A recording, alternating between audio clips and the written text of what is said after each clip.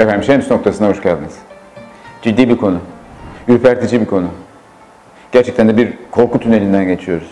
Şems noktasında genellikle dini konular üzerinde dururuz.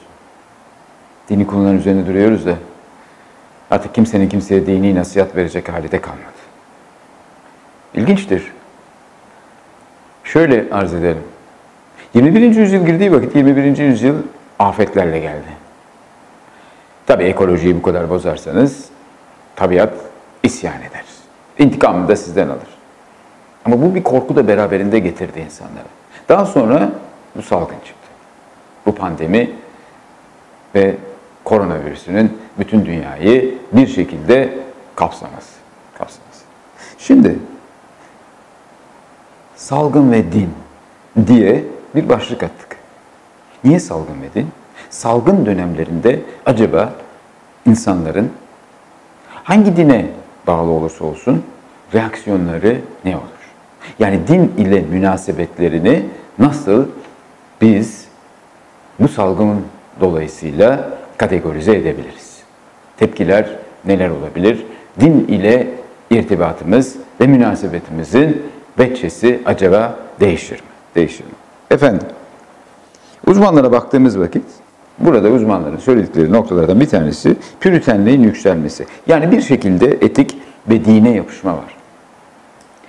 Yani insanlar bu pandeminin gazab-ı ilahi olarak tecelli ettiğini düşünebilirler ve bu neticede kendilerini murakabeye alabilirler.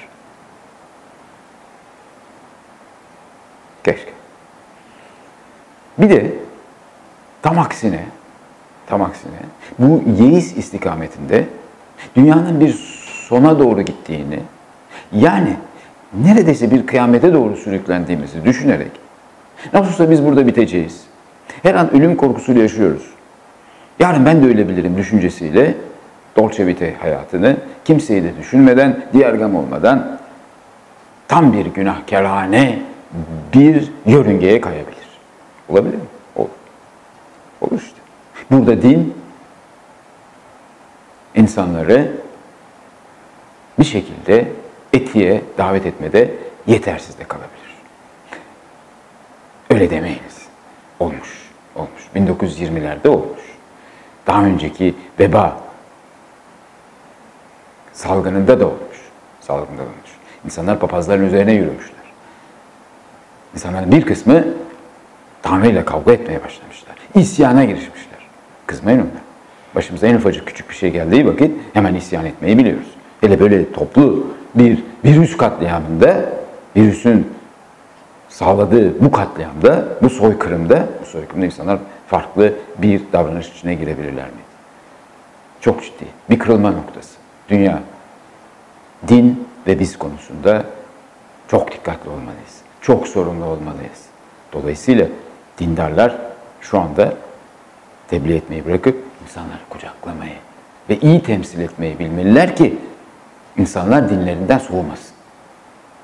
İnsanların birbirlerinden soğuduğu bir dönemde, mesafe koyduğu bir dönemde, korktuğu bir dönemde, ölüm korkusuyla sadece bencillik kültürüne egemen olduğu bir dönemde din kucaklayıcı olacaksa dindarların da bu konuda vasıflarının yüksek olması lazım deriz. İnşallah hepimiz böylesidir. Görüşmek üzere.